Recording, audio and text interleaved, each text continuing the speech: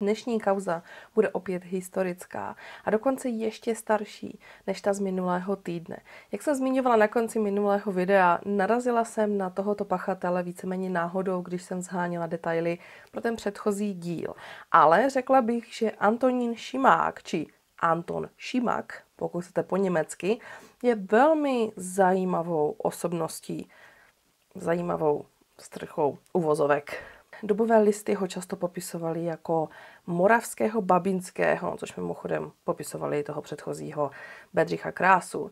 Ale Antonín Šimák, bohužel, je dodnes jeden z nejznámějších kriminálních živlů, který figuroval v oblasti Ostravy a Moravy. Co je asi nejděsivější na jeho případu je za A samozřejmě množství jeho obětí, ale také ten velmi krátký čas, během kterého zautočil na tak velké množství lidí a bohužel spousta z napadených jeho útok nepřežila.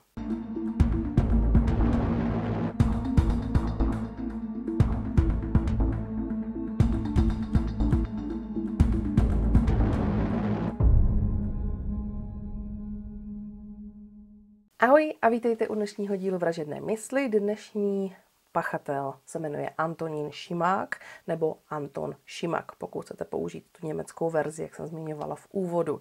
Já to asi budu míchat, takže prosím, buďte schovývaví, jednou budu říkat Antonín, jednou Anton, jak mi to prostě půjde přes jazyk. Narodil se v Dubnu v roce 1861 v obci Nové Sady u Odry, německy mluvící rodině, proto to jméno Šimak. Rozhodně nepatřil mezi ty nejlepší studenty, což vás asi nepřekvapí. Vystudoval 8 tříd základní školy a poté měl teoreticky našlápnuto, aby mohl být normálním členem společnosti, ale to bychom nebyli tady, že?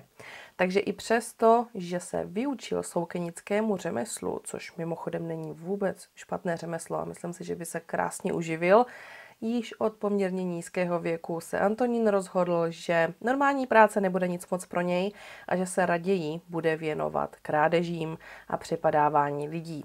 Jeho rodiče mu zemřeli, když byl poměrně mladý, takže i kdyby měl mít nad sebou určitý bíč, tak bohužel neměl. Takže vás asi úplně nepřekvapí, že ve velmi nízkém věku se střetl se zákonem, když mu bylo teprve 20 let. Před dovršením 20. roku života už měl poměrně dost bohatý trestní rejstřík a pro četníky to nebyla žádná osoba, o které by nevěděli. Mnohokrát byl také uvězněn, za všechny můžeme uvést jeden příklad, kdy byl 4. května v roce 1881 odsouzen k šestiletému těžkému žaláři právě za krádeže a tento trest si odseděl ve věznici na Mírově. Po skončení trestu, tedy v roce 1887, byl odveden zpět do svého rodného města Odry, kde mu 8. května přímo starosta města Julius Gerlich nabídl 6 zlatých a také takzvanou pracovní knížku právě na to soukenické povolání a poměrně dost důležité upozornění. Měl by začít sekat latinu, dali jsme ti všechno k tomu, abys mohl začít. Silně ti doporučujeme, abys přestal přemýšlet nad nějakými krádežemi. Jsi stále ještě poměrně dost mladý, máš stále velkou možnost stát se normálním členem společnosti a být užitečný, a ne nějaký loupežník, kterému se to stejně nevyplatí. Hádejte co? Ne, Antonín se nestal. Členem společnosti Antonín se otočil a pokračoval v tom, co mu fungovalo předtím. 12. května v roce 1887 odjel s doprovodem do Opavy k vojenskému odvodu. Byl odveden k devátému praporu země braneckého regimentu. Navíc mu na opatském hejtmanství byla vyplacena částka 25 zlatých jako úspory z mírovské věznice. Takže pořád má možnost začít normální život, ale Antonín o to vůbec neměl zájem. Jak jsem zmínila, sice byl vyučen soukeníkem, mohl díky té pracovní knížce začít pracovat. Všichni se mu snažili pomoct v jeho okolí, ale on o tu pomoc prostě nestál. Nejprve si v Opavě koupil revolver ráže 12 mm a poté ještě u dalšího obchodníka velmi podobnou zbraň stejné ráže. Poté se přesunul z Opavy do Svinova. Jeho plán byl celkem jasný. Když seděl na Mírově ve věznici, tak si začal sepisovat jistý seznam. Seznam lidí z okolí, kteří mají peníze a musím uznat, abych byla trošičku objektivní, že ten jeho seznam byl poměrně dost propracovaný, protože měl seznam lidí, kteří bydleli v okolí, měli určité peníze, ale nejenom to. On tam měl i různé datumy a poznámky, které mu pomáhaly si rozstřídit ty lidi a časově si rozstřídit ty útoky na ty lidi, protože plánoval už od začátku, že jakmile ho pustí, tak bude pokračovat dál a bude, bude to dělat trošičku chytře, takže věděl například, že výplaty se vyplácejí v určitý den v měsíci a budou zrovna ti zaměstnanci, když budou z práce domů, tak budou na určitém místě. Takže on ví, že v tu dobu musí na tom místě být, aby mohl přepadnout a aby mohl okrást. A poměrně rychle se dostaneme na tu krátkou, ale děsivou sekvenci jeho útoků. Vše začalo pátek 13. Pátek 13. května v roce 1887 se Antonín Šimák objevil na faře. Tuto faru ve Sleské Ostravě měl na starosti farář Jan Bita. Vše začalo tím, že Antonín verbálně zaútočil na faráře, začal mu nadávat a řekl mu, takovou trošičku lámanou češtinou podle všeho, co jsem četla v kronikách, aby mu vydal peníze. On totiž věděl, sice tuším jak, ale Antonín věděl, že farář má zrovna na faře 8 tisíc zlatých. Antonín tedy požádal tyto peníze, požádali docela silné slovo, začal vykřikovat na faráře a zaútočil na něj tou zbraní. Farář mu samozřejmě peníze dát nechtěl, takže se chvíli přetahovali. Antonín po něm několikrát vystřelil, dvakrát ho střelil do oblasti břicha a několikrát do oblasti kolem krku a hlavy. Ale farář by tam měl velké štěstí, protože ani jedno z těchto jeho zraněních nebylo smrtelné. Sice ty střely do břicha určitě nebyly příjemné a vyžadovali si nějakou dobu hospitalizace, Bita nakonec tento útok přežil a ty střely vedené na hlavu nebo na krk, tak víceméně ho jenom poškrábali na krku. Na faře, kromě toho faráře, tak byla i jeho hospodyně a služka. Obě ženy začaly panikařit a začaly křičet, když se zjistilo, že se tam střílí a že se tam prostě nějaký muž dohaduje s farářem. A tím pádem Šimáka jako takového vyděsili natolik, že se rychle sebral. Zajímavostí bylo, že byl celou dobu bos, vzal si svoje boty do ruky a utíkal pryč z fary, aniž by vlastně něco ukradl. Farář, po tom, co byl hospitalizován a dostal se ze svých zranění, byl schopen četníkům popsat, jak ten člověk vypadal. Popsal ho jako takového menšího, neupraveného muže a hlavně, že byl tedy bos, což byla taková zajímavost. Takže to byl úplně první útok na faráře, který mu tak úplně moc nevyšel. I hned následujícího dne se bohužel stal útok, který stál lidský život. V lese mezi Novou Vsí a Zábřehem, mimochodem tomu lesu se velmi rychle začalo říkat hůlváky, byla nalezena mrtvola muže jménem Josef Karnovský. Ten pocházel z Lubojat ve Slesku a byl to podomek hospodského Hochstima z hospody u Zlatého kříže v Moravské Ostravě. Dříve toho dne dostal Josef výplatu 70 zlatých a Šimák právě na základě toho svého seznamu moc dobře měl vypočítané, že právě toho dne tímto lesem s největší pravděpodobností tento člověk půjde domů a bude mít svoji výplatu. Takže ještě než ji stihne nějakým způsobem utratit, tak mu od těch peněz Šimák odpomůže. Co mě přišlo trošku zajímavé, byl fakt, že u mrtvoly zůstalo 51 krejcarů. Vzhledem k tomu, že ta mrtvola byla nalezena poměrně dost rychle po střelbě, která se v tom lese udála, zaslechli totiž tři dělníci vlačné dráhy, kteří zrovna v tomto lese odpočívali. Dostali se k mrtvole poměrně brzo, tak mě tak napadá, jestli to spíše nebyl útok, který byl nedokonaný. Byť bohužel stál Josefa život, Šimák možná nestihl ze strachu, že by ho někdo mohl identifikovat, nestihl ho okrást a Josef část těch peněz utratil ještě předtím, než se dostal do lesa, protože mně přijde úplně zvláštní, že by ho okradli jenom o část těch peněz a ne úplně o všechny. Nicméně výsledek je bohužel stejný. Josef byl nalezen v lese mrtev se střelnou ranou ve spánku a podle pitevní zprávy později bylo potvrzeno, že ta střelba se konala z velmi krátké vzdálenosti. Spíše to vypadá, že Josef v té chvíli útoku a jeho vraždy ležel na zemi, s největší pravděpodobností odpočíval, někdo mu přiložil zbraň ke spánku a vystřelil.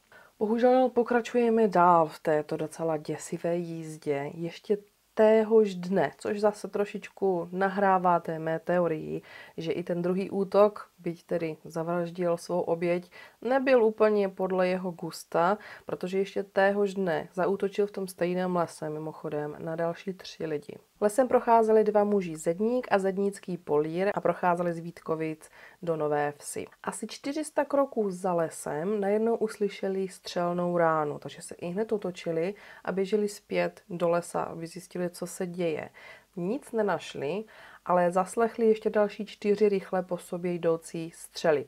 Ačkoliv prohledávali ten les, tak nebyli schopni najít nic, co by vypovídalo, že tam došlo k nějakému útoku nebo že by se něco stalo. Nic nenašli, nikoho nenašli.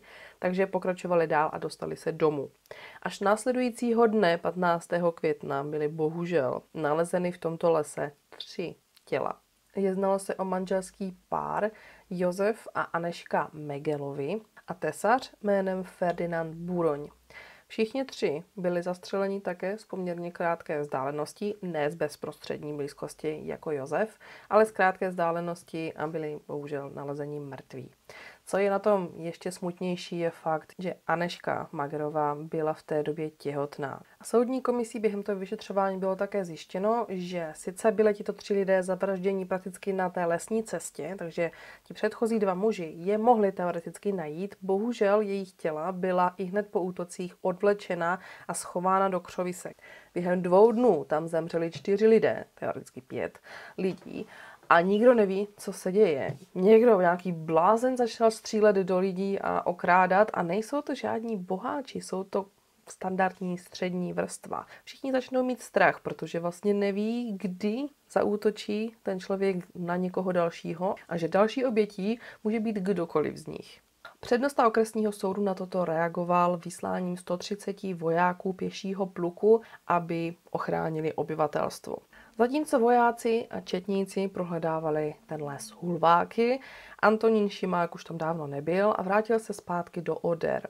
Tam se rozhodl zaútočit na postaršího muže, který prodával mléko. Pan František Valco bydlel v tomto domě se svojí 62-letou sestrou. Toho dne k němu přišel neznámý muž, nebo neznámý pro něj, my už víme, že to byl Antonín Šimák a opět takovou lámanou češtinou mu řekl, že by chtěl požádat o mléko. Když se František otočil, aby ve svém kalendáři, kde si nechával peníze, aby mu vrátil, najednou na něj muž zaútočil. Revolverem ho střelil do hlavy, sebral mu ty peníze, že i těch 10 zlatých, i ty drobné a utekl pryč. Opět mimochodem boty měl v ruce.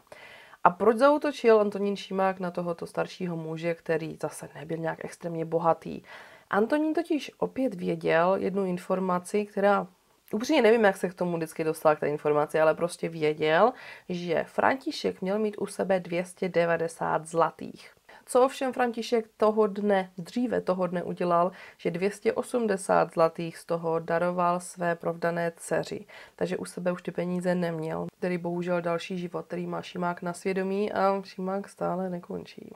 Pokračoval na takové své loupežnické tour po Šumpersku, poté přešel do Mohelnického okresu. 1. června v roce 1887 ve dvě hodiny odpoledne se pokusil oloupit kočár uprostřed prostě polí nebo uprostřed lesa. Kočár správce Mírovské věznice, pana Axmana, který cestoval v kočáru se svou ženou, se svou pětiletou dcerou a s manželkou ředitele věznice. Díky tomu, že si jejich kočí všiml rychle muže, který najednou si prostě stoupil do prostřed cesty, všiml si zavčas, že vytahuje revolver, strhl koně tak, aby ochránil ty pasažéry, co má za sebou i sam, sám sebe.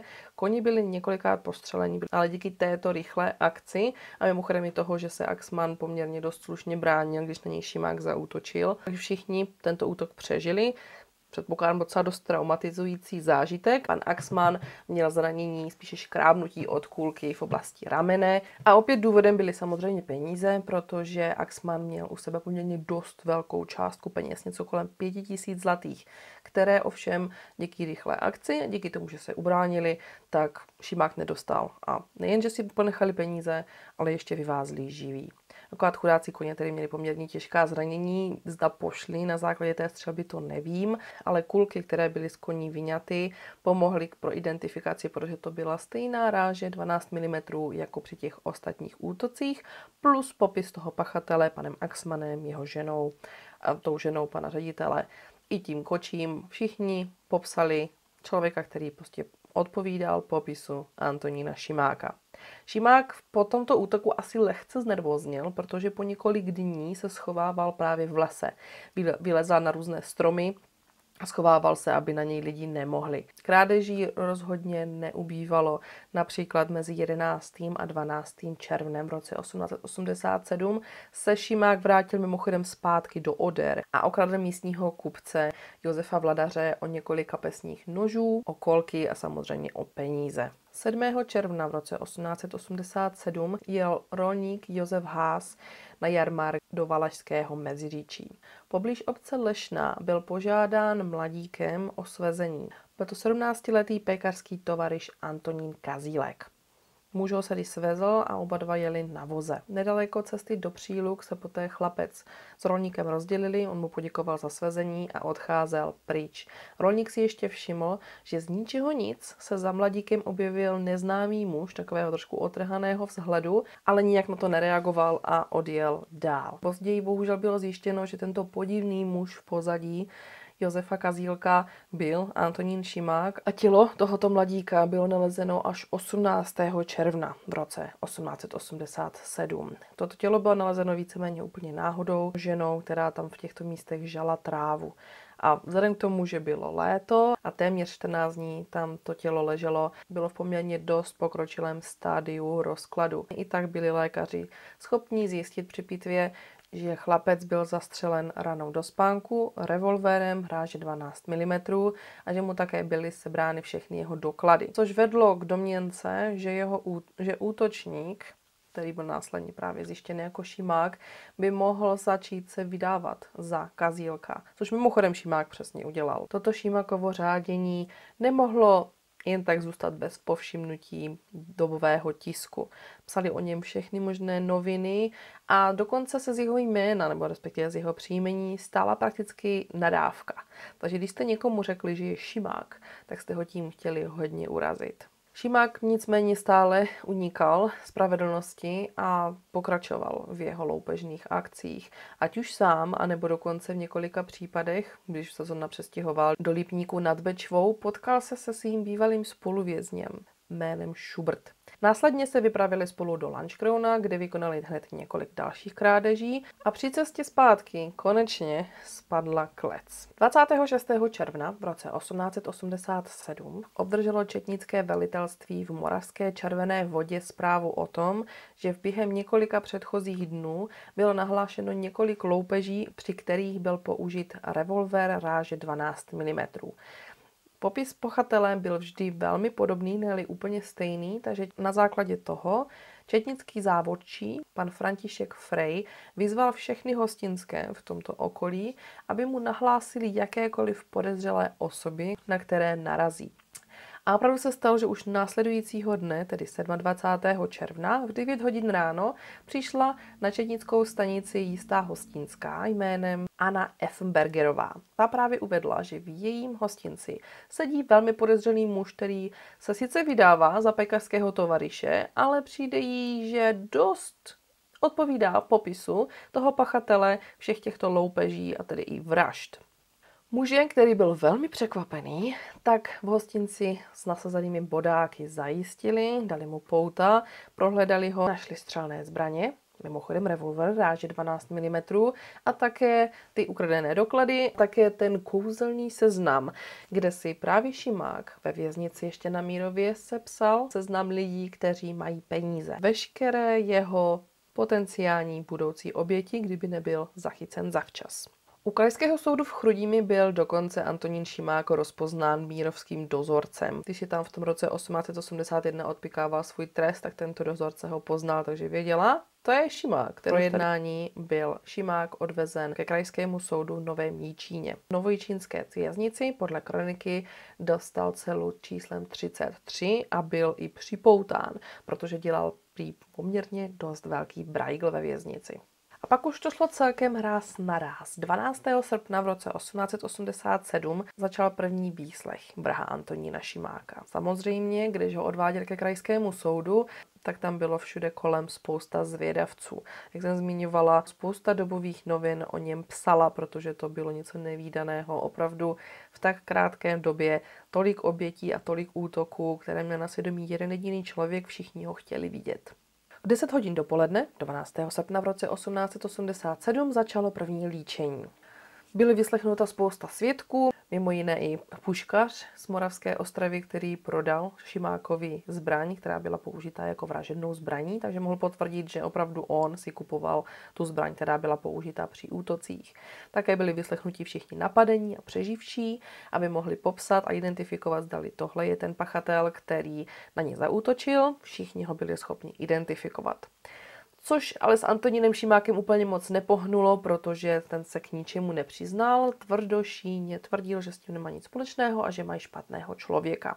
Mimochodem, on během toho soudu buď nekomunikoval vůbec, anebo jenom tak jakoby odsekával, moc z něj nikdo nic nedostal, rozhodně ne žádné přiznání. Mimochodem, jak jsem zmiňovala, že dost těch útoků udělal boss, že měl v ruce svoje boty, ale chodil bosý, prý bylo údajně kvůli tomu, aby ho nemohli identifikovat na základě otisků bot, které by tam mohl zanechat. Což mě přišlo takové zajímavé. Je vidět, že nad tím dost přemýšlel, když se to tak vezme. A jak jsem zmiňovalo, šlo všechno ráz na ráz. Dříve ty soudy trvaly opravdu krátkou dobu, protože už šestý den, tedy 19. srpna v roce 1887, krajský soud v Nové Míčině rozhodl o víně Antonína Šimáka. Antonín Šimák byl shledán vinným a byl odsouzen k trestu smrti oběšením. Údajně Šimák na ten rozsudek nijak nereagoval, stál tam jen tak lhostejně a koukal do prázdna. Takže verdikt místo toho, aby byl poslán na potenciální milost k císaři Františku Josefu, tak víceméně byl ten verdikt poslán pouze na potvrzení, že s tím souhlasí, že tedy bude opravdu vykonán trest smrti. A tak se i také stalo. Šimák prý údajně napsal na rozloučenou pouze jediný dopis, a to své sestře do Oder. Nikdy se k těm útokům ani k těm vraždám nepřiznal. Kvůli jeho popravě přijel do Nového Jíčína vídeňský kat Rudolf Seifield. Popravě, která se konala 1. října v roce 1887, prý údajně přihlíželo na 200 diváků a mimochodem na tu popravu se prodávaly lístky. V té době celkem standardní věc. Jeho popravě byli mimochodem přítomní reportéři z Brna, z Ostravy, z Olomouce i z Vídně. Prostě chtěli o tom napsat článek úplně všichni. Několik minut po sedmé hodině raní byl Šimák vyveden ven právě na popraviště, kat mu dal kolem krku oprátku, utáhl a po čtyřech minutách kat prohlásil, že je Šimák mrtev. Lékař poté potvrdil, že to nebylo po těch čtyřech minutách, ale po přibližně sedmi minutách, kdy mu přestalo být srdce a Šimákův osud byl spečetěn. Takže lidi se začali tak jako pomaličku rozcházet, nicméně Šimákovo tělo vyselo na té šibenici ještě několik hodin, než bylo tedy sundáno. Mimochodem mu byla odňata hlava a ta hlava byla poslána do Vídně k vědeckému proskoumání. Nezjistila jsem, zda je tam ještě pořád, je to dost možné, že tam ještě v nějakých archivech je, byť už je to poměrně dost dlouho. Tohle je jedna z takových věcí, které se dělaly, vypadá poměrně dost běžně. Už jsem o tom mluvila několikrát, hlavně tady v těch starších případech. Takže takto skončil moravský babínský Antonín Šimák. Opravdu jeho jasným motivem byly peníze a šel prostě přes mrtvoly. Do konce svého života nikdy nepřiznal, že by s tím měl něco společného, nicméně Několik svědků ho vidělo, dokonce i ti přeživší ho byli schopni identifikovat. Byla použita ve všech případech stejná zbraň, takže ačkoliv ano, je to takové trošičku divoké období pro policejní práci, 19. století, že? Bylo celkem jasné, že to Antonín Šimák udělal. Dostal, co si zasloužil, podle mého názoru, protože nevypadalo, že by se mohl někdy napravit. Dostal možnost napravit se už při tom prvním uvěznění v Namírově, ale bylo vidět, že o to absolutně nestojí, protože už v tom vězení měl naplánováno, že prostě půjde podle toho svého seznamu a obohatí se tímto způsobem. Takže opravdu nebezpečný pro společnost, tím pádem ten trest smrti, byť já vím, že pořád takový kontroverzní, Eh, v tomto, v tomto případě asi dává smysl. Takže dejte mi vidět do komentářů, zda jste tento případ znali či nikoliv. Předpokládám, že asi ano, protože Antonín Šimák je opravdu tam v tom okolí toho moravskoslezské oblasti je asi nejznámějším, být je to poměrně dost stará kauza. Pokud máte nějaké typy na další starší případy, nemusí být mimochodem starší, můžou být i novějšího rázu, budu moc ráda, když se se mnou podílíte o ně v komentářích. Možná to tak nevypadá, ale všechny čtu. A když mě nějaký opravdu zaujme, tak si ho napíšu do svého seznamu. Já vám moc děkuji za dnešní zhlédnutí. Pokud ještě nejste pravidelným odběratelem, líbí se vám má videa a chtěli byste můj kanál podpořit, budu moc ráda, když se stanete pravidelným odběratelem. Podle analýzy mého kanálu to vypadá, že je to tak skoro 50 na 50 lidí, kteří se vrací jako odběratelé a kteří jsou úplně noví. Takže budu moc ráda, když ty čísla trošičku zvednete. Jsme kousí línek od, od 10 tisíců odběratelů, což by bylo něco opravdu obrovského pro mě. Možná pro někoho ne moc velké číslo, pro mě naprosto nemyslitelné. Takže pokud mě chcete podpořit a chcete pomoci vražedné mysli, aby se dostala na tento velký stupínek 10 tisíců odběratelů, stačí kliknout na malé tlačítko odebírat, po případě sdílet má videa a doporučovat, pokud si myslíte, že to za to stojí. Já vám moc děkuji za čas strávený u mého videa dnes, budu se na vás těšit příští týden, dávejte na sebe pozor, mějte se hezky a zatím ahoj!